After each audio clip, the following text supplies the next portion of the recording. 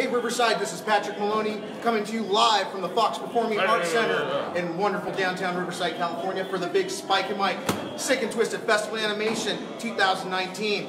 We're gonna have a blast. As you can see, we're at the merch table right now. Ralph will be here, and then uh, Spike will be here. Uh, I even heard the mayor is gonna be here. Come here early. The, I've seen people already starting to line up outside. He's pretty excited. I am stoked. He's I, I, pretty excited. Woo! We even got beach balls for you in there. All Um, right.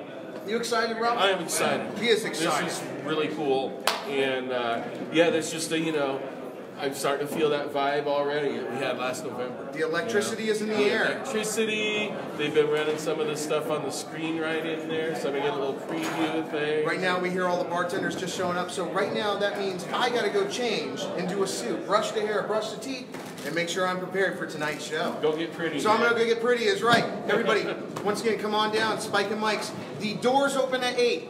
Chase Walker 8:30. Donita Lang Smith at 8:45. Nine o'clock is a film. One intermission, and then we'll be done by 11. See you guys tonight.